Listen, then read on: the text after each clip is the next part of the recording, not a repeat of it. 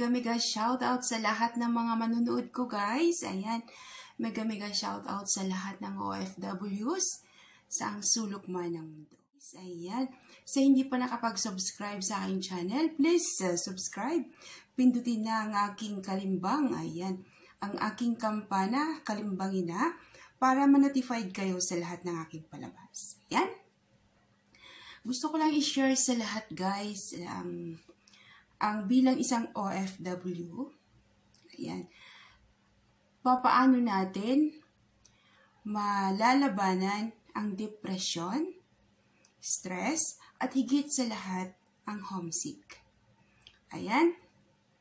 Isishare ko sa inyo yung aking mga opinion. Ayan. Kung, ba, kung papaano mamamanage ng isang OFWs ang depression.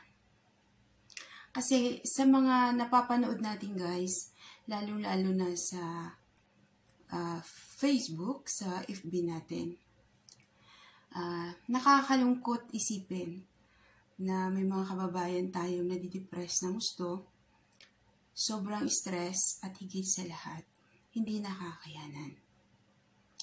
At nung nakaraang mga araw ay may isang kabayan tayo na kinitil ang kanyang buhay. At nandito rin siya sa Riyadh, Saudi Arabia. Ayan. Nakakalungkot lang isipin na binibigyan tayo ng Panginoon ng uh, magandang buhay na dapat i-enjoy natin. I-enjoy natin sa hirap at ginhawa. Kahit gaano man kahirap ang buhay, tayo ay lumalaban. Pero huwag lang nating kitilin ang buhay natin dahil sa sobrang sama ng loob.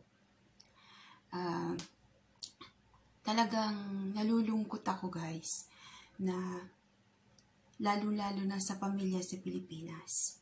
Dahil uh, napakasakit, pinakamasakit na balita na kung saan ay mababalitaan natin na yung ating mahal sa buhay ay pumanaw na. Kaya nung time na yon na napanood ko, talagang parang dinudurog yung aking dibdib.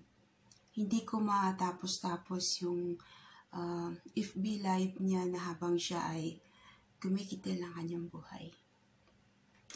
At uh, may isa rin tayong kabayan dito rin sa Riyadh, Saudi Arabia.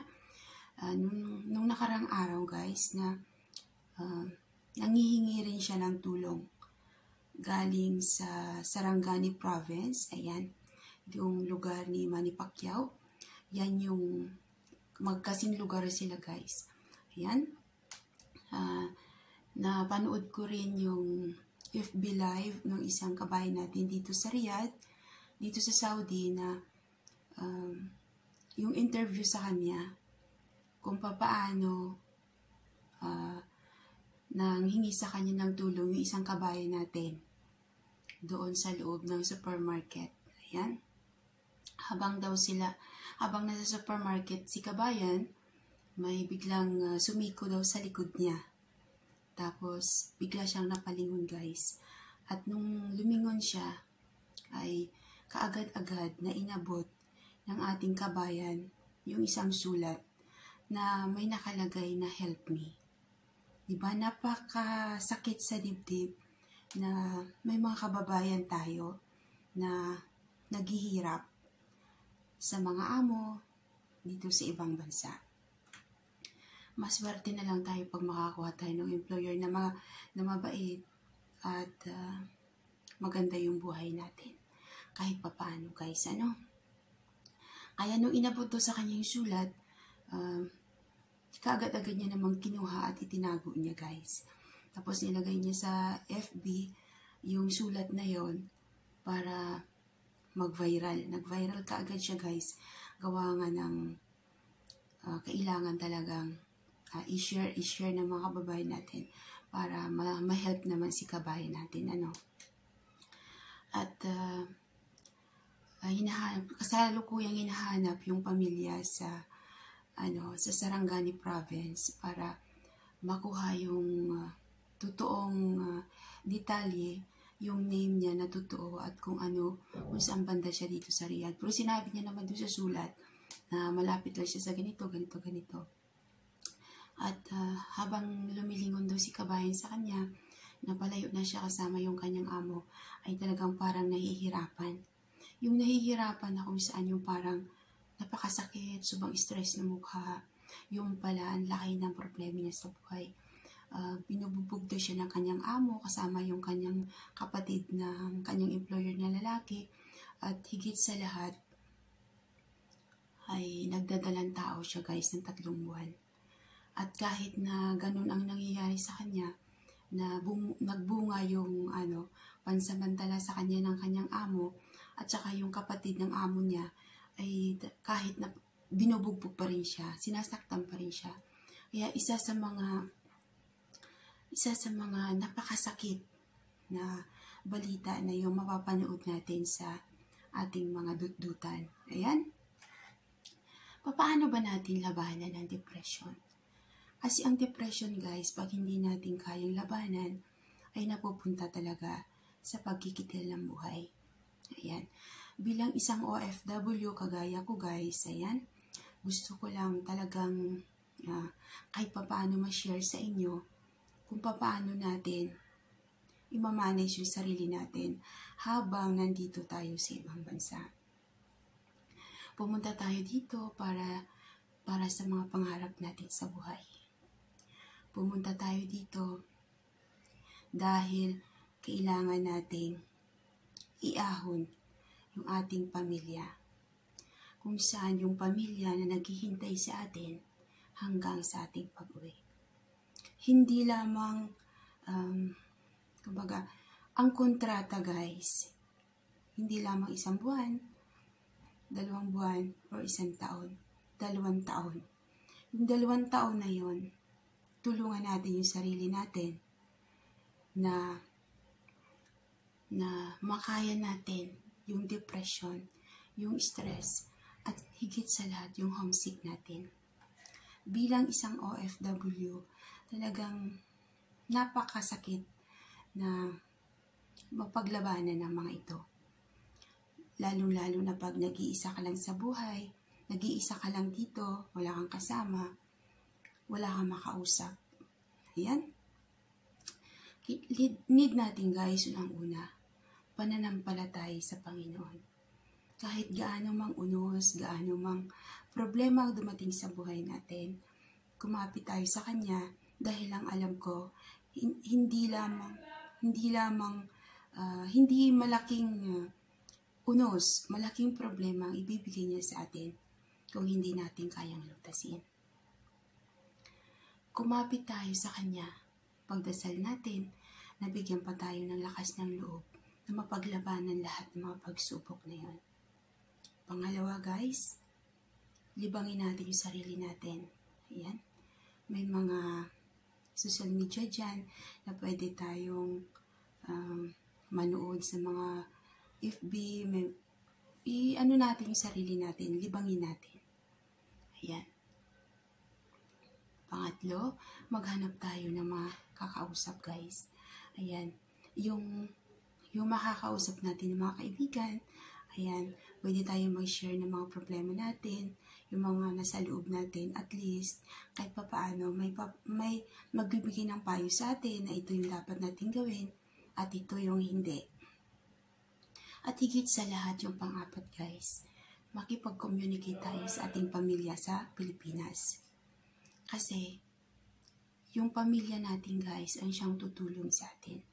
Minsan, may mga problema sa Pilipinas na kahit kaunti lang na dahilan ay ipapaabot ka agad natin dito sa ating mga uh, ah, OFW.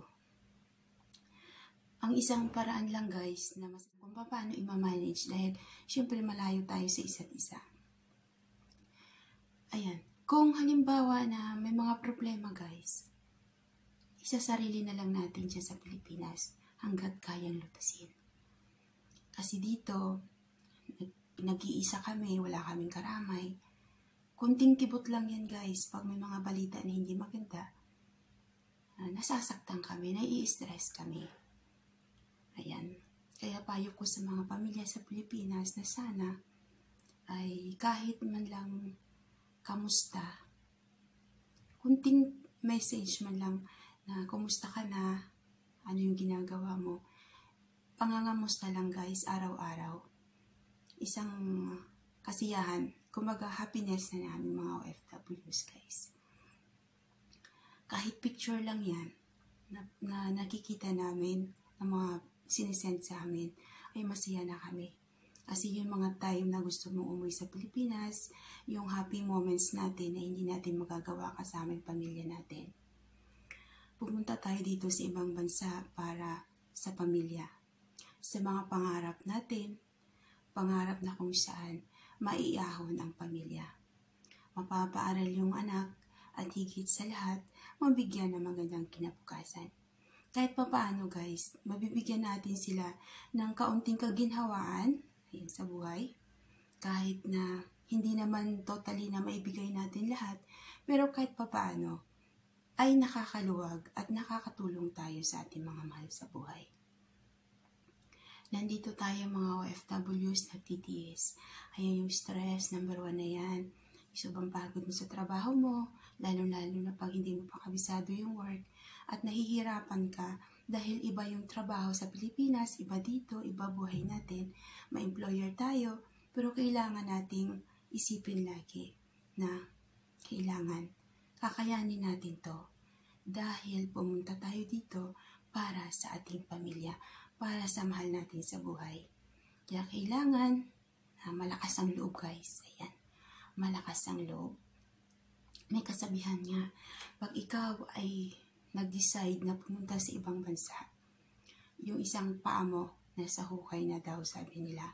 Kasi hindi mo alam kung ano yung madadatnan mo, mabait ba yung employer mo, maganda ba yung trabaho, at higit sa lahat, uh, kaya, kaya nating uh, paglabanan ang lahat ng mga pagsubok na dadating sa buhay natin habang nasa, isang, nasa ibang bansa tayo guys. Kaya payo ko lang sa mga kapwa ko FWs guys na kailangan ay manalig tayo sa Panginoon. Kung ano may mga pagsubok, ano may mga nararamdaman natin na hindi maganda, iiyak natin guys, iiyak natin. Iiyak lang daw tayo, pero hindi tayo susuko. Iiyak tayo para lumabas lahat ng ating sama ng loob at ang bigat sa dibdib natin. Pero, hindi tayo susuko. Kaya sa mga kapwa OFWs na nandito guys, sa ibang bansa, sana ay uh, magkaroon tayo ng kumbaga uh, yung yung nasa loob natin ay isi-share natin kung ito ay sobrang bigat na. Isi-share natin sa mga kaibigan natin, kung hindi kaya sa pamilya natin guys. Dahil ang, ang kaibigan ay may payo sila sa atin. Kumbaga, ano, uh, kung makikinig ka, medyo gagaan ang loob mo. Ayan. Kaya, minsan nalulungkot talaga ako, no? Na sa katagal na panahon, nandito tayo sa ibang bansa para magtiis. Ayan. Number one na yung stress stress na stress na ako guys, sa totoo lang. Diba? Parang ganun, stress na stress na ako. Uh, bagsak na bagsak na ako. Gusto ko na sumuko. Pero, uh, iniisip ko lagi na kailangan kumapit pa rin ako para sa, sa mga mahal ko sa buhay. Kumapit ako sa Panginoon. Dahil uh, binigyan niya tayo ng buhay na dapat nating mahalin. Um, i-enjoy natin yung life natin, hindi para kitilin natin yung buhay natin, guys. Ayan sana ay makatulong uh, sa mga kapwa OFWs ko. Sa lahat ng mga pagsubok sa buhay natin, ay ibigay natin sa Panginoon guys. Sana ay makatulong itong aking uh, vlog sa lahat ng mga OFWs natin. Kahit pa paano guys ay magkakaroon tayo ng konting uh, kaluwagan sa dibdib. Ayan, i-share natin lahat ng mga problema natin sa buhay at higit sa lahat, ibibigay natin sa Panginoon. Salamat sa lahat ng aking manunood Ayan, salamat sa lahat ng mga supporters ko. Mega mega shout out din supporters. At higit sa lahat, laban lang tayo guys. Push lang natin yung buhay natin. Ayan, magandang araw sa lahat. And God bless po.